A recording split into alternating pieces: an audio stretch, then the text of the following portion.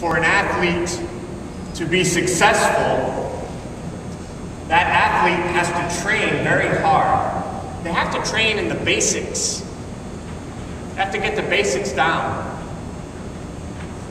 The same is true in our Christian lives. For Christians, for us to be holy, to be faithful disciples of Jesus, we have to train really hard.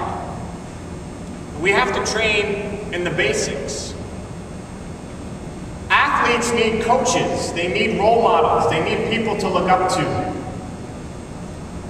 And the same is true for us as Catholic Christians. We need role models, people to look up to, people to coach us, to teach us. This season of Lent is about training deeply in our faith and the spiritual life with the basics.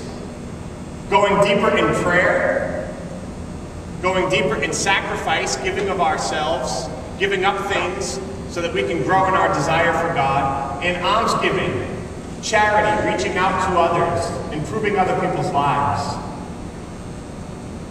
And for this training in the basics for the season, I'd like to propose to the entire community today our coach. I have a coach for us for this holy season of Lent, a role model that you and I can all look to.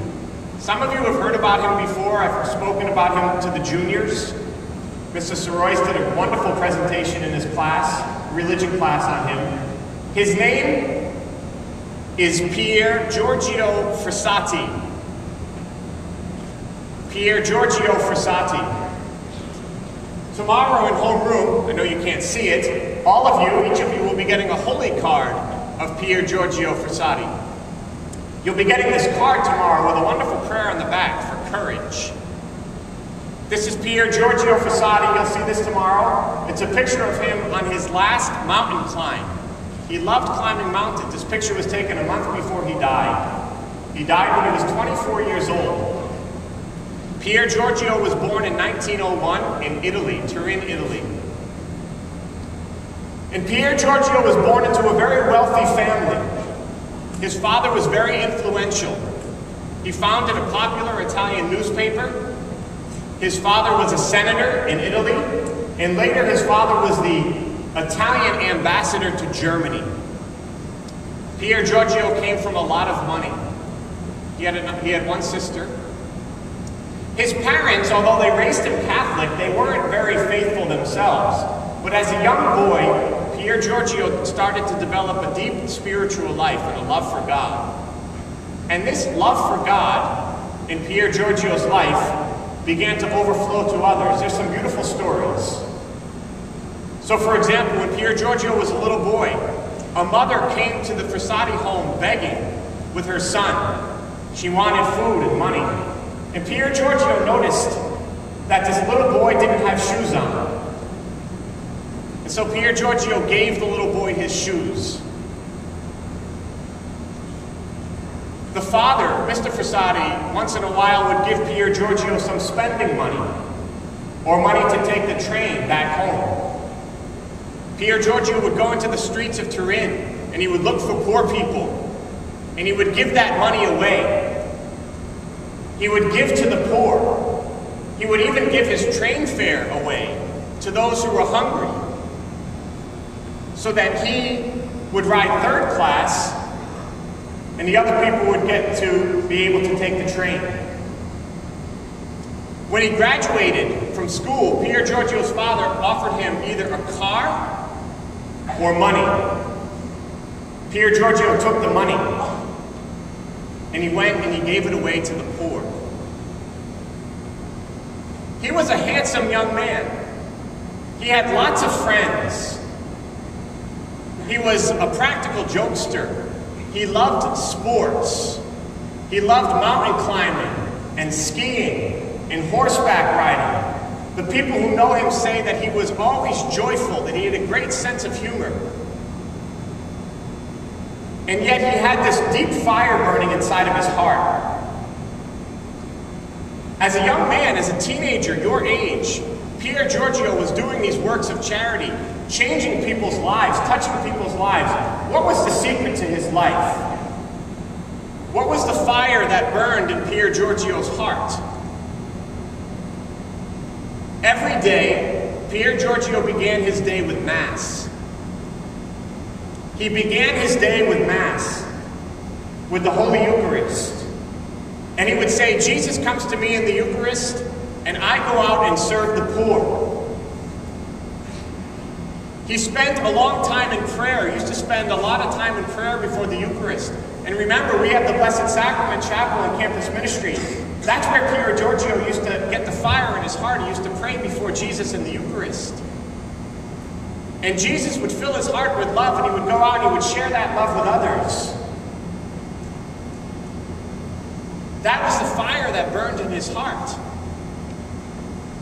Get to know Pier Giorgio Frassati this Lent. Learn about him. Say this prayer every day that you're going to get tomorrow. Pope John Paul II in 1990 beatified Pier Giorgio Frassati. That means that we call him Blessed Pier Giorgio Frassati, which means he's one step closer to being declared a saint in the Catholic Church. He was 24 years old when he died. He wasn't a priest. He wasn't a religious brother. He wasn't married.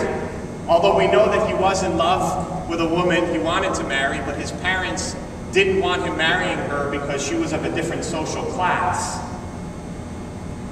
He was a normal young person like all of you here. He loved life, he loved friends, he loved sports, but he loved Jesus. And because he loved Jesus so much, that love for Jesus overflowed to others. Get to know him this Lent. Let him be your coach. Let him be your role model for prayer. So I want to challenge you this Lent to model your life on the life of Pier Giorgio, who loved Jesus and knew Jesus' love. On this holy card that you're going to get tomorrow, Pier Giorgio signed something on it. He signed on the picture in Italian, to the top. That's what it says on the holy card, to the top. That was his motto. Climb to the top. Spiritually, this Lent. Keep climbing higher. Climb higher to Jesus. This is why we give things up. One of the reasons we give things up is so that we can be more aware of our desire for Jesus. So Lent is about going higher. It's about going to the top. And so we want to do that. We want to do it through prayer, praying more deeply every day, through sacrifice, giving up things so that we can be more deeply aware of our desire for Jesus, and service, almsgiving. You know, you heard the announcement this morning. I want to encourage the entire community, all of you, although it's not obligatory, to really take advantage of this BFFL, Best Friends for Lent. It's a great idea. You're going to have the opportunity to be randomly assigned a student in your grade that you're going to be able to pray for every day. Can offer sacrifice for them. You may not know them, so you can get the opportunity to sit down and talk with them, maybe at lunch.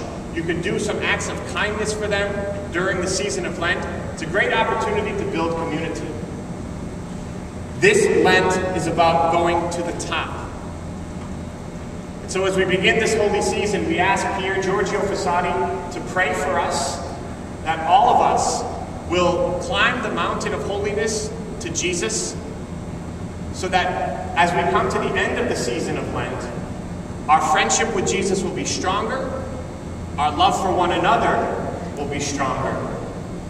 To the top, we climb with our coach, Pier Giorgio, who will teach us how to love Jesus more during this Lenten season.